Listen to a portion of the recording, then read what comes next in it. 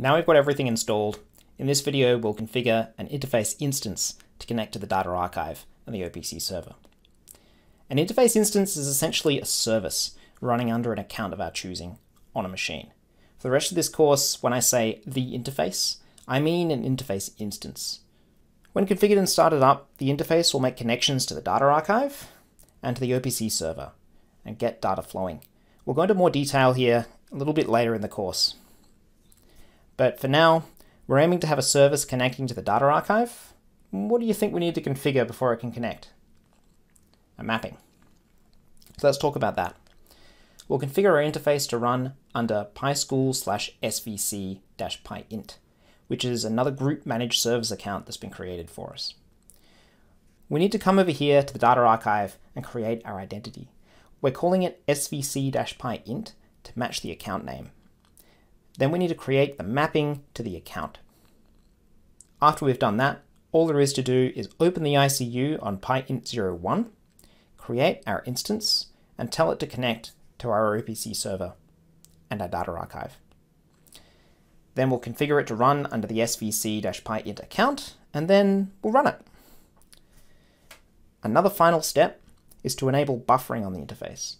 So this will make the interface resistant to interruptions between it and the data archive, and it'll buffer data during a network outage.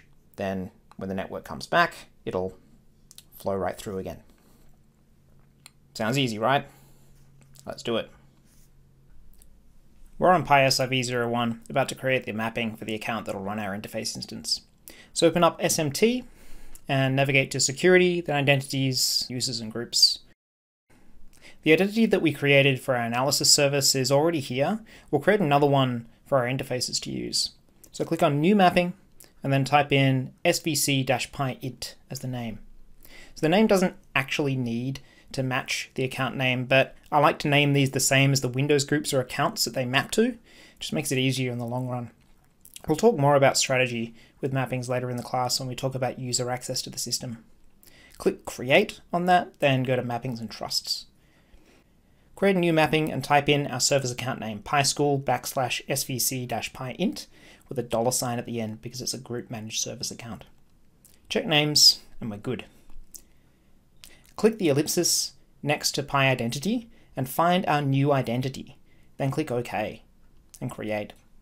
This mapping will map to the identity that we created. It doesn't have any permission right now, but we are going to give it permission later to access the tags that it needs to access.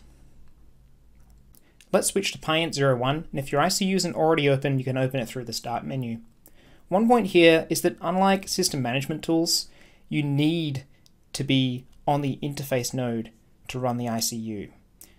So you can connect to Data Archive from anywhere with system management tools, but to manage an interface, you need to run the ICU on the interface machine itself. We're creating a new interface instance, so click on the interface menu, then create a new interface from bat file. Creating it from a bat file really means create from a template. We could configure one from scratch if we wanted, but most of the settings we need are in the default template. Go to the opcint underscore read-only folder, and you'll find the opcint read-only.bat underscore new, which is that template. So open that up. This next menu is asking us what data archive we want to configure this interface to connect to. We'll select PISRV01. We only have one choice here. And here we are on the ICU. We're in the General Configuration tab. We can see a few things here. So we can see the instance we're currently configuring and select between instances if we have more than one on this machine. We can see some important settings for the instance that we'll talk about in a later lesson, and which data archive the interface will connect to. On the left side, there's a whole lot of configuration menus. We're going to go into a few of these, but the OPC interface is very, very mature. It has a ton of configuration options for different configurations and use cases. Most likely you're not really going to touch many of these options outside the ones we go over in this class, but if you're interested in the rest, check out the documentation to PI Live library. We'll, we'll link that uh, in the comments. We're configuring an OPC interface here, but there are actually a ton of different interfaces. Most will have similar configuration options to the OPC interface, except for the interface confi specific configuration menu item. second from the top. The only thing we need to change here is the name of the OPC server that the interface will connect to. The server's actually on the same machine as the interface in our configuration, so we'll leave it a local host. So generate a list of available server names on our machine, which will list them all in the dropdown, and from the dropdown, we'll choose opc sample.opcda20server.1.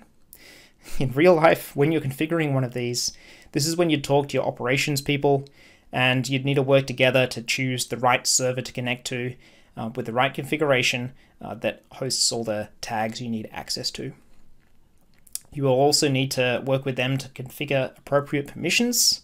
If the server is actually on a different machine to the interface, there's a whole lot more steps you need to run through. Uh, we've greatly simplified it here, but the configuration is generally different for every situation, so we're not really going to go into specifics. There's a big, nice article for you to walk through if you need it. So click Apply there and then move to the Services tab. Click Create and we're done. And there you go. We created our interface instance. Uh, but we've got a few more steps to go through before it's able to do anything. Step one is switching on buffering. So go to Tools and then Buffering. And click Yes, we'd like to configure buffering now. And Continue, and check the box for Pi SRv01, indicating that we'd like to buffer data to the server. Click Next and don't worry about the error saying security isn't configured. We're going to deal with that afterwards. Click Next and then Yes. Our buffer location is going to be on D drive. Just like everything else, we're separating out our Pi-related stuff to our operating system on the C drive. So let's change it to D drive buffer. Click Next. Next, we get the same security message, but that's fine. We're actually going to fix that right now for both the interface and the buffer. So exit the wizard. Right, we're going to make both the buffer and the interface instance run under our svc-pi int account now. There's two steps here. Step one is to give the account permission to control the buffer. So open up computer management and then go through local users and groups and into groups and then pi buffering administrators. We need to add the account that's going to run the buffer here. So add the svc-pi int account to the group. Step two is to change the account that runs the services. Open up the Windows Services applet and click anywhere and press the letter P for Pi and find the Pi buffer subsystem. So go right click, properties, then log on, and then write in our PiSchool backslash svc dash pi int account with a blank password. And oh, don't forget the dollar sign at the end. Uh, we're using a blank password here because the domain manages passwords for these accounts. They actually have passwords, they're just managed by the domain and, and not us.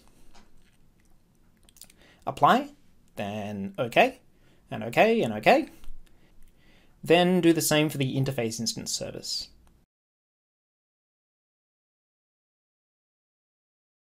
Right click and restart the buffer. Then close all ICU and buffer manager windows. Say yes to any save prompts, and then run the ICU again. Okay, note that no instance is selected when it starts. So a, common mistake here is to create new instances whenever you open up the ICU, don't do that. It's just right here in the drop down. So select that. Note now there's a buffering status on here. Looks like the interface has picked up that we've turned on buffering, but for Pi SRv01, that's fantastic. Click the Service tab. The ICU has recognized that we've configured buffering and wants to add a dependency so the service will always start after the buffer. Um, how kind of it? say, say yes, that's exactly what we want.